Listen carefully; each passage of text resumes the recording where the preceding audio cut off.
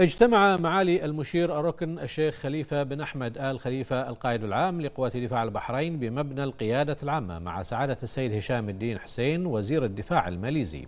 لدى وصول سعادة وزير الدفاع الماليزي إلى مبنى القيادة العامة جرى عزف سلام الضيف ثم جرى تفقد حرس الشرف.